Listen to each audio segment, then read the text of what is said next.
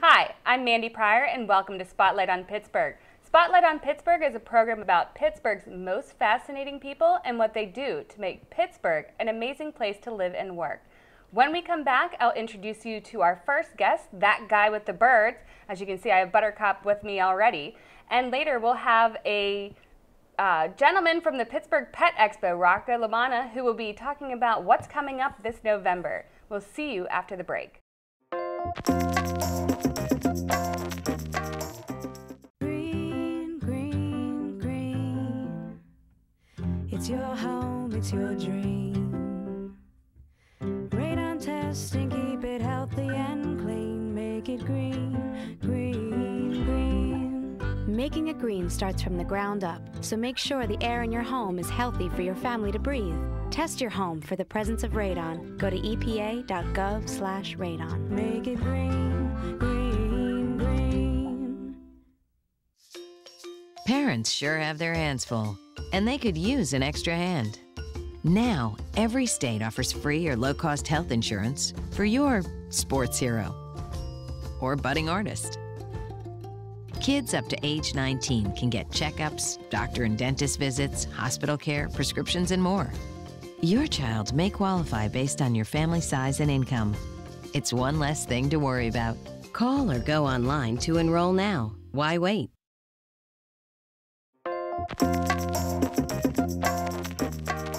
Hi, Kenny, and thank you so much for coming on the show and bringing your feathered friends. Absolutely. So, how does it look? Do you, You like my new hat? Perfect. It's good. Absolutely. So, what can you tell me? How did this that guy with the birds? How did it all get started? Well, it was actually started by a very dear friend of mine. His name was John Leege, and um, I worked with John the last 10 or 12 years. Um, John started a rescue for parrots in 1980, just trying to uh, take in unwanted, abused, and neglected parrots. Um, we unfortunately lost John to cancer. It'll be two years this March. and before his passing, he asked if I would not only take over the educational programs, uh, but his flock as well. Johnny cared for over a hundred birds uh, at one point. So the transition from his home to my home has been quite the undertaking, to say the least. Did you have birds before that? I did. My wife and I had 22 birds to start with, uh, all rescues. Um, I was just like everybody else. As a kid, I had cockatiels, was always fascinated with birds. And then, uh, like I said, around 15 years ago, I, I purchased an umbrella cockatoo very similar to Django here on my lap. And uh, I brought him home. I named him Captain Morgan. I thought he was the coolest thing ever. And uh, I had done some homework, but not enough. And I was fortunate enough to meet John. Uh, we happened to shop at the same store for our bird food, and uh, we hit it off instantly, became friends. So I started traveling with him. Uh, we've traveled all around the country doing shows and just trying to get the word out. It's not that we condone people owning parrots, but we want you to do your homework before you get one. This is a lifelong commitment. well, they live a long time, They right? do. They do. A big macaw like Alvy over here can live to be over a hundred years old with the right care and diet. Wow. So that's a big. Uh, That is a big that's commitment. a big take on. Definitely. Yeah, absolutely. What about a little guy like this? A little Buttercup up there. She's actually around 15. Uh, but again, with the right care and diet, they can live up into their 30s. Oh, that's good. Yeah, yeah. And so, um, what can you tell me about these three? Well, Alvy, excuse me, is called a green winged macaw.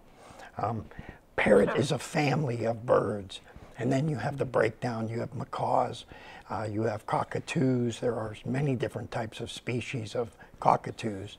But in the macaws, there are 17 true living species of uh, macaws.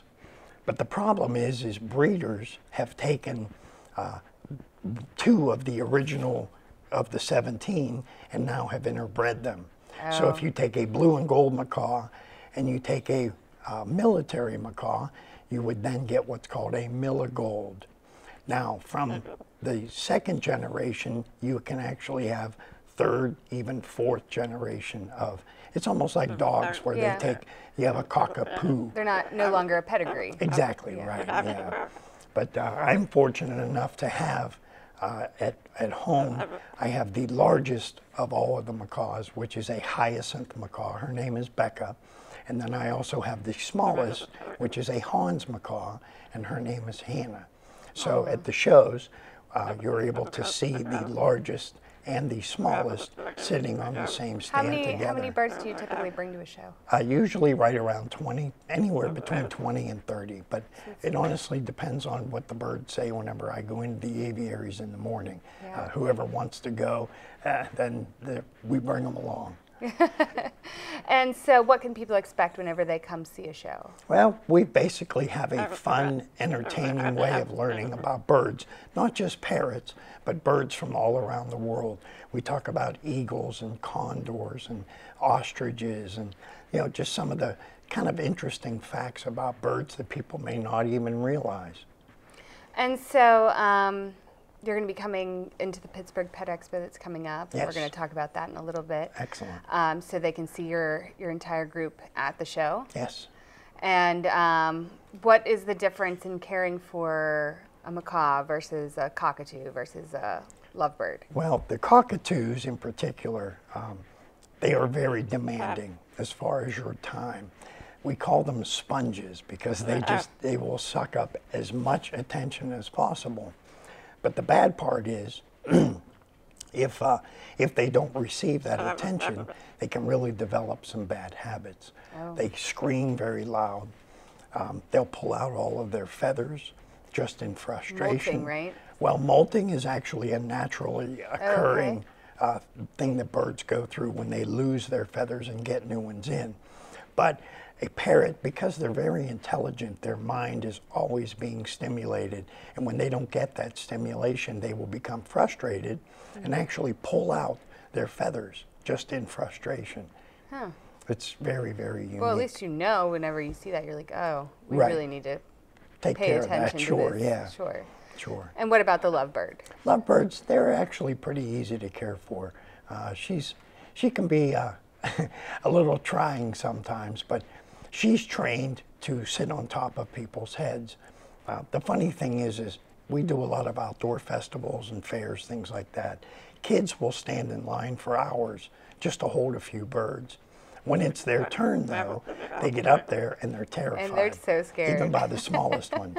So what we've done is we've trained Buttercup to sit up on top of mom or dad's head. And, And then, then once the kids see that, they start to smile. They think it's really neat. And then we'll go ahead and then put Buttercup up there too. That's cute. Yeah. That's cute. And so, um, do you have a particular bird that you like the best? Well, I mean, I shouldn't say that in front of the other birds. well, when people ask me that, I actually will often refer and ask if they have children. And you say, well, which one is your favorite? And obviously, you don't have a favorite. You Love love, them them all. all. equally. These are my kids, Yeah. and um, I love all of them uh, very much dearly. And, and uh, I can't say that I have one in particular that uh, was my favorite. Um, I did years ago um, when a bird picks you to be your mate. It's a pretty incredible feeling. And uh, years ago, the first bird that really chose me was a blue and gold macaw. His name was Gunner. And uh, I unfortunately lost Gunner to a tumor. Uh, And yeah, but uh, he was probably my all-time favorite, and I miss him dearly. But he was a really sweet bird. He didn't like my wife so much, but that happens. oh yeah, yeah, They pick a person. they do, they Yeah. do, yeah. And so, do these do these guys do any tricks? Any? Django likes to dance. Django likes to dance. He loves to dance. Can we watch Django Oh, dance? You think she- certainly. Yeah. He? It's a he. Are you going to do some dance, huh? What do you Ah. think? Huh? Are you ready? no, we don't have any music going on. Oh, But yeah, during the show, I, I put on put the chicken dance song. likes. So she really And, likes uh, dancing. Yeah, he loves to dance. Yeah, he loves to dance to the chicken dance song. But uh, yeah, and the kids really get a kick out of it. He dances across the table, and So, is there anything surprising that if somebody takes the bird home as a pet that they should know? well, a lot of times the breeders, one, they won't tell you how long this bird is going to live. Um, a lot of times people too, don't realize their diet is very, very important.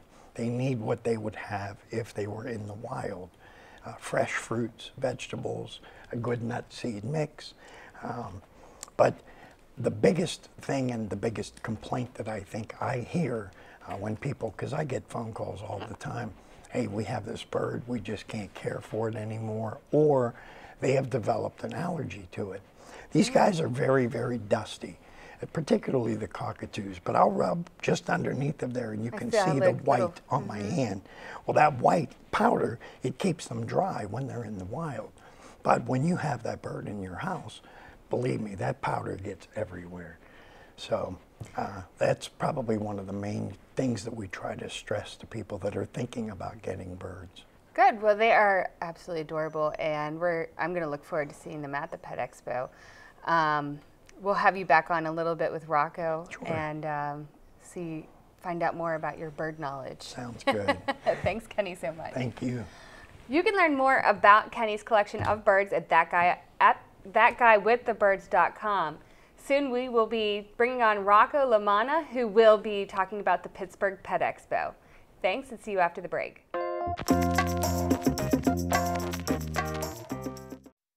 Sometimes it's hard to see where you're going, but you have the power to change your problems. All it takes is courage. Your life, your voice.org.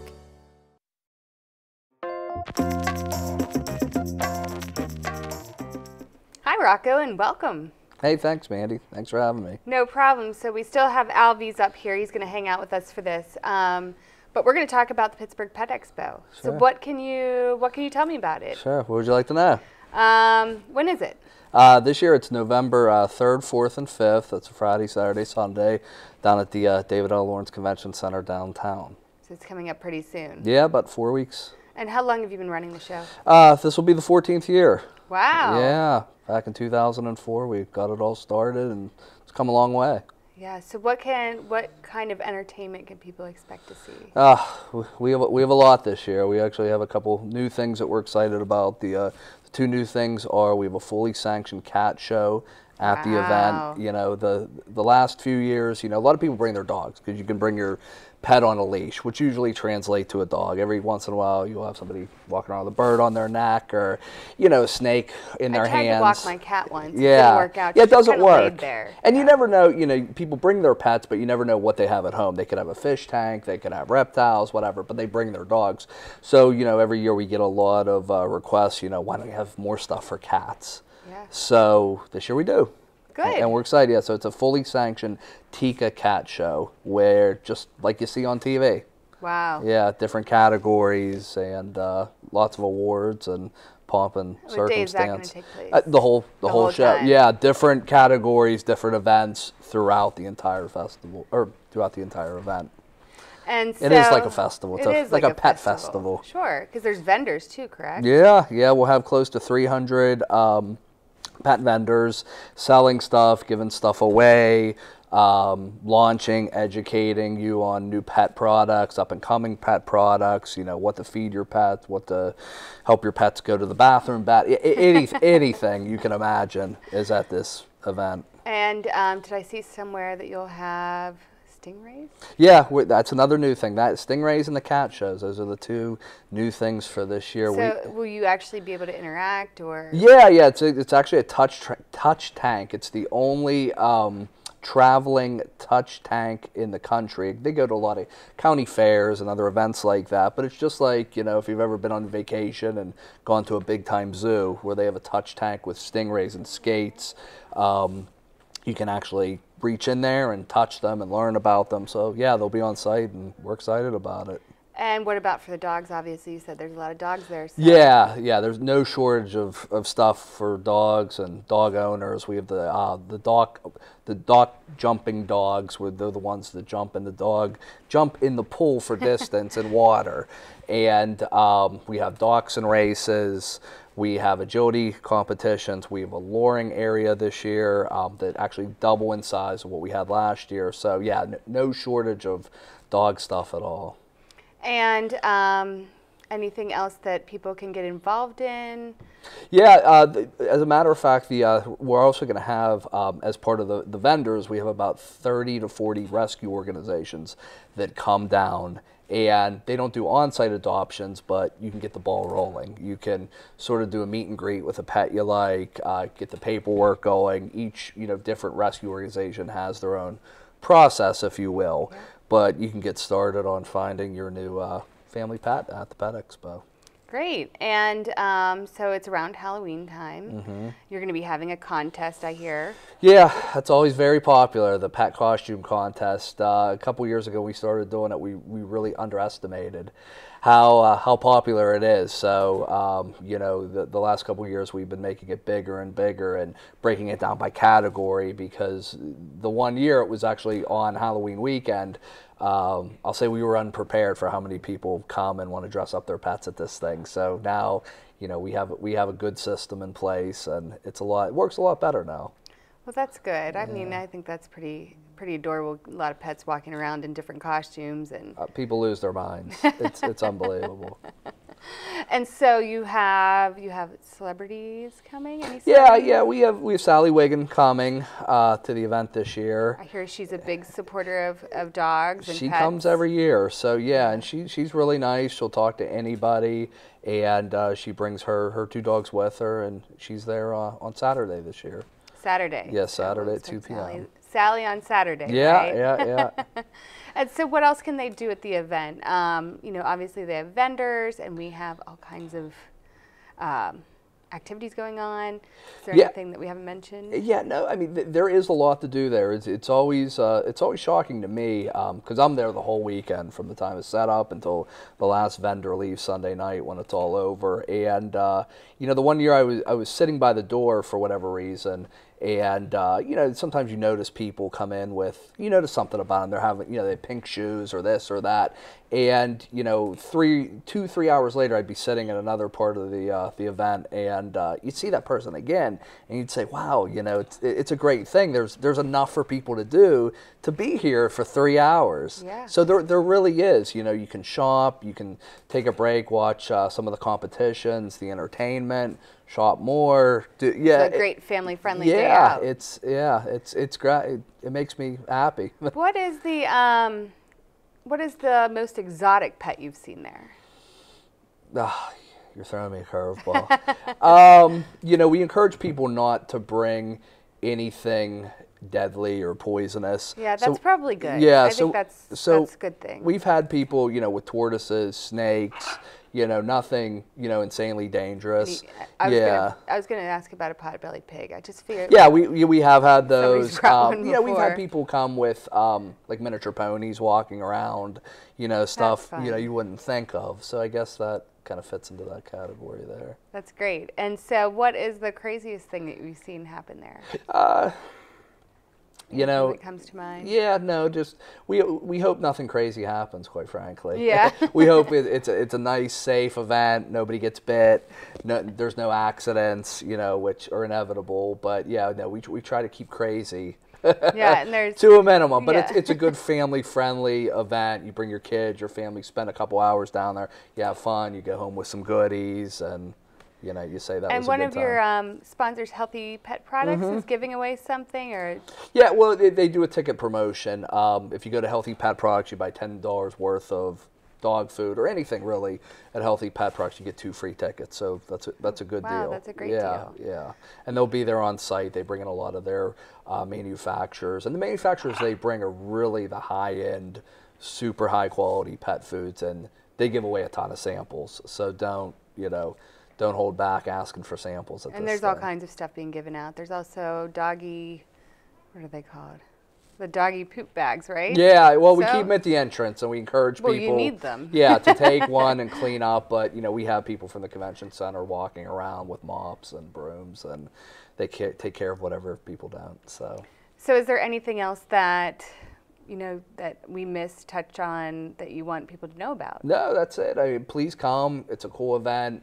You know, if you've ever been to you know a home show or a festival, it's it's the same thing, except most of the stuff's pet related. So, and you can bring your pet, which, you know, I know there's more and more places out there that are starting to be pet friendly, but this is certainly one of them. The dog babies and the, you know, cats and stuff. Like I said, people lose their minds for their pets. Good. Well, and what dates is that again? November 3rd, 4th, and 5th. It's a Friday, Saturday, Sunday. Fridays 5 to 9, Saturdays 10 to 8, and Sundays 10 to 5. 10 to 5. Yep. All right. Well, thanks so much, Rocco, for coming on. And we'll be bringing Rocco back out here in a little bit to um, do a bird challenge, a birds of a feather challenge with Kenny. See which one knows the best. Uh, so many furry friends to see at the Pittsburgh Pet Expo. To find out more, please go to pittsburghpetexpo.com. That's pghpetexpo.com. And don't forget to follow it on Facebook. We will be back after the break with Kenny and Rocco for a trivia challenge. We will see you soon.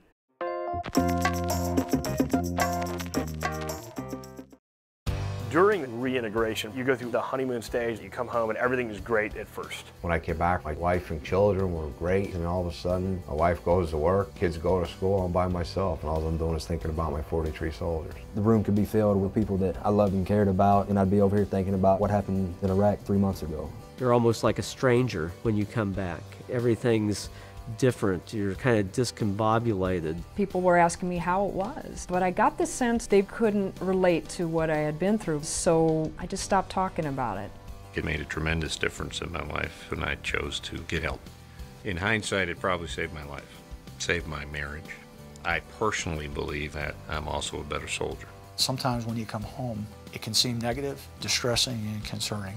It can all be got through and will be got through. You're not going to be the same person afterwards that you were before you deployed, and don't try to be. Accept who you are, and now figure out how to move forward and make that positive.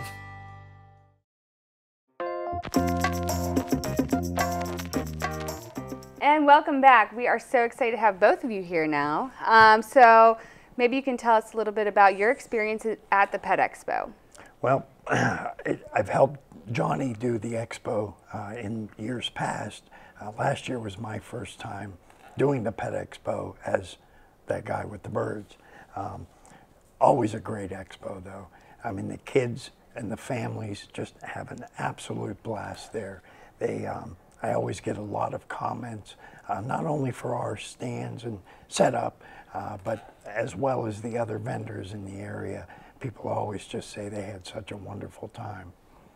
Great. And you, um, I'm sure, love having Kenny and all the birds Yeah, there. yeah. Last year was a uh, first year. Kenny did it, you know, by himself and with his team without John. And I mean, I, I was blown away. I mean, constant people at his area asking him questions, and he's so, you know, his bedside manner with the birds and the people. I mean, it's it's second to none. So it's a huge addition to the Pet Expo, and we look forward to having them every year. Good. Well, Rocco, how do you feel about your, your bird trivia, generally speaking? Somehow I think it's a little unfair. I know, I know, I knew you were going to say that. But, The you know, it's unique. cooked. How do you feel about your your general bird knowledge? Because these aren't necessarily the, the macaw or the cockatoo or anything. Sure, right. Yeah. So, all right, well, I'm going to see what you guys know. So I had to use my phone today. I usually have note cards, but um, we'll have you, whoever wants to go first. Um, what was the, m- the most amount of egg yolks found in one bird egg? What would you guess that is? Because you know you've gotten the ones with two in there, right, before. Right, right. So how many do you think were in there? I would say, on a guess, um, four to five. Okay, and what about you, Rocco? 18. 18. Well, it kind of fits right in the middle. So there was nine actually in Nine, one egg. So I guess that's a world record. Oh, wow. For that. Okay. I don't know whether, I think it was a chicken. Oh, Um, I would hope so. So the second question is How long do you think that it takes to hard boil an ostrich egg? Now keep in mind, they're like Big. that big. right, Yeah. Yeah. 45 minutes. 45 minutes. What about you? I'm going to say maybe 20 minutes to a half an hour. Two hours. Two hours. Yeah, it's basically like you're cooking a roast. It takes that long to. So I won that one. You did. Good job, Rocco. right, he's in shape. Uh, what type of bird has the smallest egg? There's a lot of egg questions in here right now. See that? Yeah. I'd have to say a hummingbird. That's what I was going to say. That's absolutely correct. So you guys are both ding, one ding, for ding, one. we're good. Neither of you. nice. Um, what are the three birds, and you can help each other, what are the three birds that can't fly? An ostrich. It's one. That's of them. one. Yeah. An emu. They can fly, I guess. Yeah. I was surprised by that. You know. They're pretty big. Yeah. Um, anything else? Chickens, right? Chickens can fly. Can? Short distances. Yeah, just away from people running after them Right. usually. so the other two were the penguin, Right. Oh. which you know we, we just forget about, and the dodo bird. The Mm. Are they still around? I thought they were extinct. Yeah. They I might be thought they extinct. too. I don't know. They still count. um, all right, this one's all about speed. So, So how fast can a falcon swoop? a falcon. A falcon, c- they're very fast. They're very Um, fast. I want to say, if I'm right, around Alvy knows the answer. 180 miles per hour. 70 miles per hour. 200. Yeah, I knew it was- it So was he's one cut up on you. there. and finally, how tall is Big Bird? Seven feet. I'd say seven feet. I'd say, yeah, around seven, maybe. Seven one. Seven one, right. one. Do Yeah. the, do the um, price is right. Yeah, Yeah. right. Eight feet two inches. Uh, he got so it. he's He a big. it. That's definitely a big bird. That's a big bird. All right. Well, that's the end of my challenge. You guys did really well. I think it's pretty much a draw on that. Congratulations. Um, is there anything else you'd like to share about the Pet Expo coming up? Any final words? Please come. Yeah, please come. Absolutely. Don't miss it this year. It's a yeah. really, really good It time. only This will be my first year going, so I'm, Yeah. I'm super excited. I love animals. Here's a cool so. little thing about this year's Pet Expo. It actually falls during um, Turn Back the Clock weekend. So Okay. Sunday morning, when you get up an extra hour early and you don't know what to do with yourself, come to the Pet Expo. It's, I mean, good. you know, yeah, that's There's nothing better, especially when those the kids are up early yeah, too. I'm that's right. So. Well, thank you so much, Kenny and Rocco, for coming on the show, and we'll look forward to seeing you both on the, at the Pet Expo. Pleasure being here. Thanks so for much. having Thanks. us. Thank you to both Kenny and Rocco for being on the show, and of course the birds. Don't forget to follow Spotlight on Pittsburgh on Facebook, Instagram, and as check out our website spotlightonpittsburgh.com. I will also be giving away a family four pack. Uh, check back tomorrow. I'll give the details on our Facebook page to the Pet Expo. And stay tuned for next time when we shine the spotlight on two more guests.